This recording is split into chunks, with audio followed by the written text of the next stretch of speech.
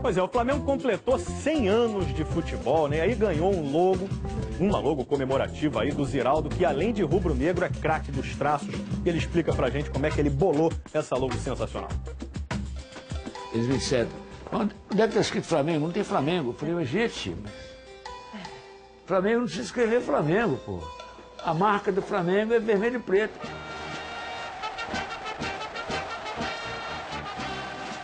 Ziraldo, cartunista, o craque do desenho, pai de centenas de personagens como o Menino Maluquinho, recebeu a missão: criar a logomarca oficial para os 100 anos do futebol do Flamengo. E será que 100 anos de futebol cabem num desenho? Difícil, né? Bom, cabe pela se- seguinte razão. Dos 100 anos de futebol do Flamengo, eu tenho 70. 80 de idade, 70 anos de amor pelo clube e ele diz que não precisa escrever Flamengo. Ah, vamos ver. Teste de rubro-negrismo pro Ziraldo. Escalação do primeiro tricampeonato carioca em 42, 43, 44. Ele sabe. Lembro da escalação do, do, do- do tricampeão. Sério? Jurandir, Domingos e Newton. Biguá, Bria e Jaime. Jaci, Zizinho, Perilho, Perácio e Vevé. História de torcedor. Ele tem?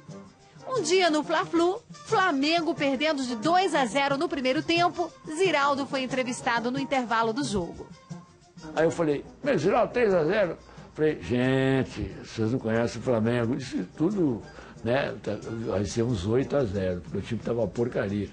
Aí o Flamengo virou- ganhou de 5 a 2 Eu- Mas quando eu saí, viu, bicho? Quando eu saí na, na, na, na rua, na, na Bunei, eu fui a pé do, do Maracanã até lá São Francisco pegar a condução.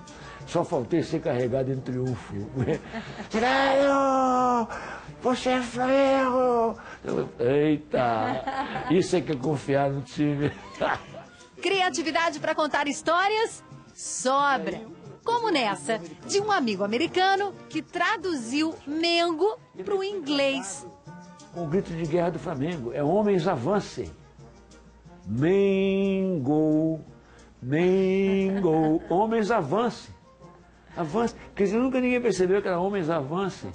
Ziraldo, mestre dos traços, rubro-negro de carteirinha, cracaço criativo. Se ele diz que não precisa escrever nada, Eles me disseram, onde que está escrito Flamengo? Não tem Flamengo. Eu falei, gente. Flamengo não precisa escrever Flamengo, pô. A marca do Flamengo é vermelho e preto, é a cor da, da bandeira da nação rubro-negra. Não precisa nem escrever futebol aqui embaixo. Porque tá aqui futebol e paixão. É tudo... Bola é coração. É, futebol é paixão. É Verdade.